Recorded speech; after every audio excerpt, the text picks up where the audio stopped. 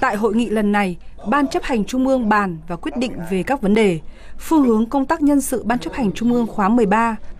phương hướng bầu cử đại biểu Quốc hội khóa 15 và đại biểu Hội đồng Nhân dân các cấp nhiệm kỳ 2021-2026,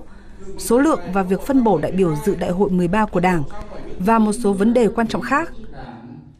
Liên quan đến phương hướng công tác nhân sự Ban chấp hành Trung ương khóa 13, Tổng Bí thư Chủ tịch nước Nguyễn Phú Trọng nhấn mạnh yêu cầu phải xây dựng được một ban chấp hành trung ương thật sự là bộ tham mưu chiến đấu, là hạt nhân lãnh đạo chính trị và là trung tâm đoàn kết thống nhất cao của toàn Đảng, toàn dân tộc. Đây là công việc hệ trọng có quan hệ đến vận mệnh của Đảng, của dân tộc và tiền đồ phát triển của đất nước. Tôi đề nghị mỗi đồng chí ủy viên trung ương cần nhận thức đầy đủ vị trí ý nghĩa to lớn của công việc hệ trọng này, tập trung thảo luận, phân tích, làm sâu sắc các nội dung trên. Cần lưu ý, nhấn mạnh thêm vấn đề gì,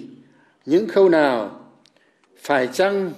về tiêu chuẩn ủy viên Ban chấp hành Trung ương, Bộ Chính trị, Ban Bí thư trong thời điểm hiện nay cần nhấn mạnh phải có bản lĩnh chính trị thật vững vàng, kiên định mục tiêu độc lập dân tộc và chủ nghĩa xã hội, tuyệt đối trung thành với chủ nghĩa Mark Lenin tư tưởng Hồ Chí Minh, cương lĩnh đường lối của Đảng, hiến pháp của nhà nước và lợi ích của quốc gia dân tộc. Có phẩm chất đạo đức và lối sống trong sáng, thật sự gương mẫu, không tham nhũng, cơ hội, tham vọng quyền lực, có ý thức giữ gìn và bảo vệ sự đoàn kết thống nhất trong đảng, được quần chúng tín cậy, tin cậy, tín nhiệm. Trong công tác chuẩn bị nhân sự, phải chăng cần nhấn mạnh phải có tinh thần trách nhiệm rất cao, thật sự khách quan, thật sự công tâm trong sáng, gương mẫu chấp hành nghiêm túc các nguyên tắc tổ chức,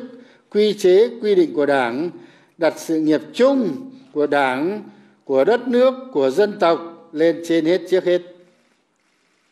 Mà hôm trước chúng tôi đã nói, nhấn rất nhiều cái này rồi. Kiên quyết chống mọi biểu hiện của chủ nghĩa cá nhân, cơ hội, cuộc bộ bè phái, lợi ích nhóm, chạy chức chạy quyền. Ai làm có lợi cho nước, cho dân, cho sự nghiệp xây dựng, phát triển, bảo vệ tổ quốc ta. Có uy tín trong dân, thật sự tiêu biểu và gắn bó, đoàn kết thành một khối thống nhất, thì người đó vào trung ương. Và vào cấp ủy các cấp ở dưới cũng như thế. Tổng Bí thư Chủ tịch nước Nguyễn Phú Trọng cho biết, tại hội nghị trung ương này sẽ cho ý kiến phương hướng bầu cử đại biểu Quốc hội khóa 15 và đại biểu Hội đồng nhân dân các cấp nhiệm kỳ 2021-2026. Cuộc bầu cử đại biểu Quốc hội và Hội đồng nhân dân sắp tới sẽ là lần thứ ba thực hiện nghị quyết hội nghị Trung ương 4 khóa 10 về đổi mới tổ chức bầu cử đại biểu Quốc hội và bầu cử đại biểu Hội đồng nhân dân các cấp trong cùng một thời điểm theo đúng quy định của Hiến pháp năm 2013 và pháp luật về bầu cử hiện hành. Một nội dung quan trọng khác tại hội nghị trung ương này liên quan đến số lượng và việc phân bổ đại biểu dự đại hội Đảng lần thứ 13. Trên cơ sở nghiên cứu đúc rút kinh nghiệm việc phân bổ đại biểu ở một số đại hội Đảng toàn quốc gần đây như là đại hội 10, 11, 12, Bộ Chính trị trình Ban chấp hành Trung ương cho ý kiến về nguyên tắc và các căn cứ phân bổ đại biểu và dự kiến số lượng phân bổ đối với 67 đảng bộ trực thuộc trung ương. Theo đó, nguyên tắc phân bổ đại biểu phải thực hiện theo đúng quy định của điều lệ đảng, có số lượng hợp lý, tiêu biểu cho trí tuệ của toàn đảng, bảo đảm thành công của đại hội. Căn cứ để phân bố đại biểu đại hội dựa trên ba tiêu chí. Đầu mối đảng bộ trực thuộc trung ương là một, số lượng đảng viên của từng đảng bộ là hai, và vị trí quan trọng của một số đảng bộ là ba.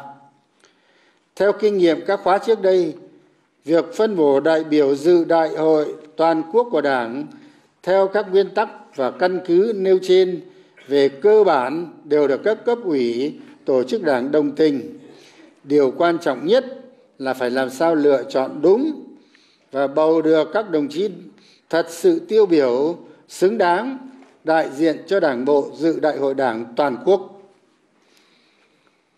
Tôi cũng xin nói thêm đại biểu đi dự đại hội cũng phải thật sự là những cán bộ đảng viên ưu tú có bản lĩnh, có trình độ, tiêu biểu của đảng bộ mình, không bị tác động bởi những khuynh hướng này, khuynh hướng khác, nhất là bởi những việc làm sai trái của những cái việc làm không lành mạnh, thậm chí là của phần tử xấu, nhất là trong công tác nhân sự. Cũng tại hội nghị này, Ban chấp hành Trung ương sẽ cho ý kiến về báo cáo kiểm điểm sự lãnh đạo chỉ đạo của Bộ Chính trị Ban Bí thư năm 2019, báo cáo những công việc quan trọng mà Bộ Chính trị đã giải quyết từ sau Hội nghị Trung ương 11 tháng 10 năm 2019 đến Hội nghị Trung ương 12 khóa 12, báo cáo công tác kiểm tra, giám sát và kỷ luật trong Đảng năm 2019.